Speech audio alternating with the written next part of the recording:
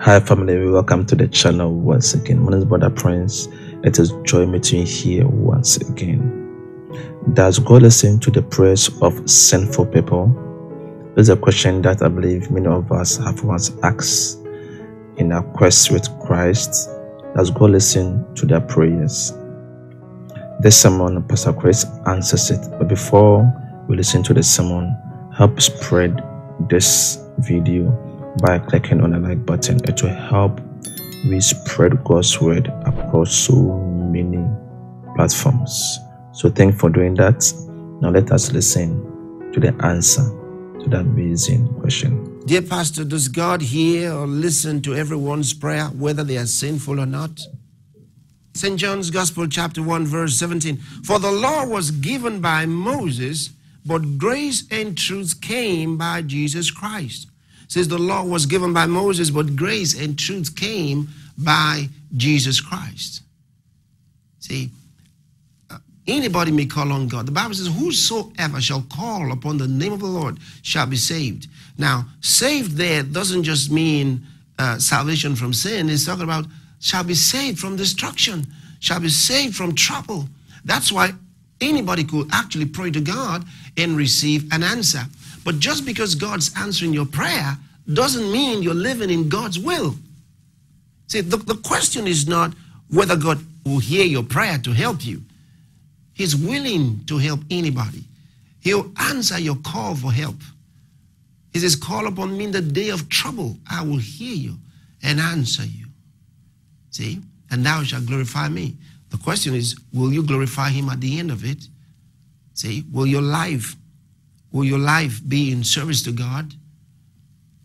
So, God answering your prayer um, doesn't uh, prove that God accepts your way of life. But I just showed you something. He says, The law was given by Moses, but grace and truth came by Jesus Christ. We are living in the day of grace. You see, we're living in the day of grace, the dispensation of grace. And because of that, God will hear your prayer. Because He doesn't answer your prayer because you're righteous, He answers your prayer because of Jesus. So that's important. He gave us the name of Jesus to use in prayer. Now, but you know, there are deeper things of life that require a, a relationship. So the, the different levels of prayer. And at certain levels of prayer, if you don't know God or you're living in sin, you're not going to get any answer. Because at such levels of prayer, the relationship that you have with Him really matters. Really matters. So those are higher levels.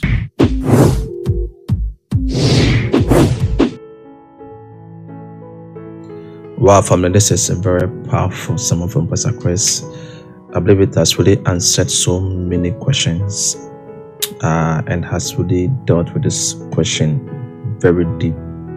Now, let us discuss what we've learned so far, family.